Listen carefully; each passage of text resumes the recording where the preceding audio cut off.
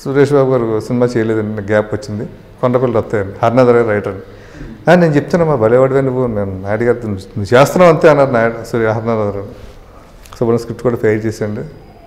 ఆ తర్వాత అక్కడ నాయుడు గారి దగ్గర రజిట్ కాబడ్డాను కేవలం ఈ కారణాలండి. రెండోది అక్కడ దాసనారాయణ గారు డైరెక్టర్ అండి.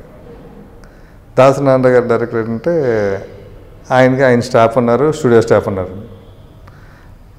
నేను ఆయన చూస్తుండగానే నాయుడు గారు ఆయన ఉండగానే అసిస్టెంట్లు అంతా రావడం నాయుడు గారికి నమస్కారం పెట్టేవారు. ఈయనకేమో సాష్ట నమస్కారం పెట్టేవారు. దాసనారాయణ గారు. నాకు కొంచెం బాధ అనిపించిందండి. నాయుడు గారు కూడా పెట్టచ్చు కదా అదే నమస్కారం పెడితే. ఒకరికి పెట్టి ఒకరికి నమస్కారం పెడితే ఇద్దరికి ఒకే నమస్కారం పెట్టాలి కదా. డబ్బులు ఇచ్చి. డబ్బులు ఇచ్చేది ఆయన కదా. ఏదన్నా గుర్తిస్తే డైరెక్షన్ చేసి కూడా ఆయనే కదా. ఈయన మామూలు నమస్కారం పెడుతున్నారంటే అనుకుంటూ ఉండేవాడిని మనసులో అనుకునేవాడిని.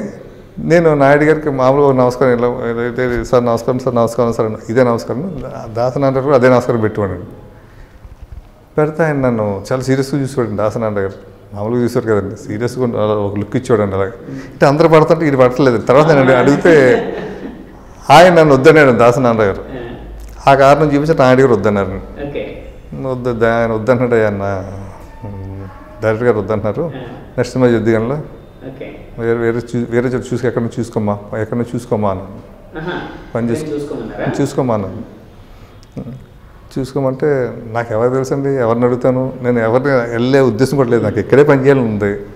ఇక్కడే ఆ ఉద్దేశంతో వచ్చాం.